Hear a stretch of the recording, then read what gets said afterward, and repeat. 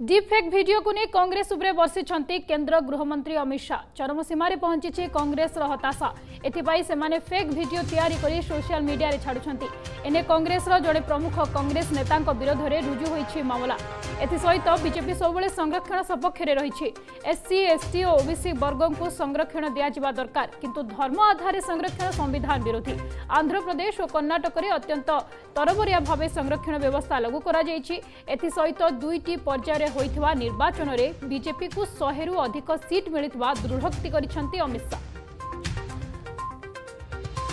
मैं ये बात स्पष्ट कर देना चाहता हूँ कि Bharatiya Janata party ST, SC, OBC के आरक्षण की समर्थक है और हमेशा इसके संरक्षक के रूप में अपनी भूमिका निभाएगी। ये बात नरेंद्र मोदी जी ने भी कई बार सार्वजनिक भाषणों में स्पष्ट की एसटी, एससी, ओबीसी के आरक्षण में किसी एक राजनीतिक दल ने अगर डाका डाला है तो वो कांग्रेस पार्टी ने डाला है।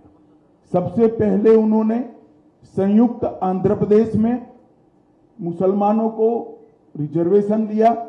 वो रिजर्वेशन के कारण ओबीसी का रिजर्वेशन कटा।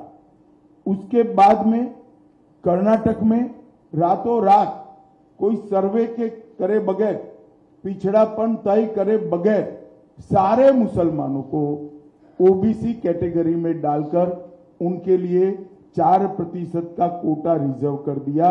इससे भी पिछड़ा वर्ग का रिजर्वेशन कटा है।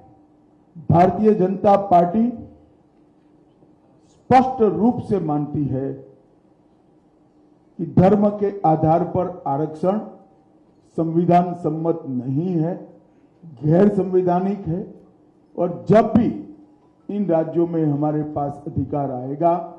हम ये धर्म के आधार पर लादे गए आरक्षण को समाप्त कर कर एसटी, एससी और ओबीसी को हम न्याय दिलाने का काम करेंगे।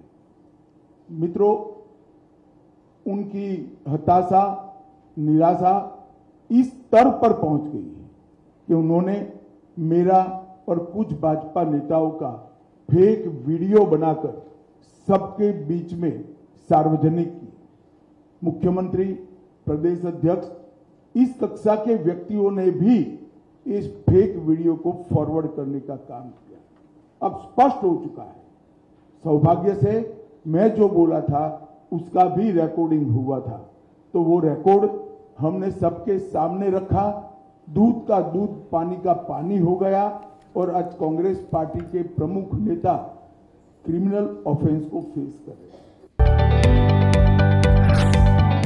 आपण जदि आपंक आम भिडी भल लगा तेब आम चैनल को लाइक शेयर और सब्सक्राइब करने को जमा भी बुलां नहीं।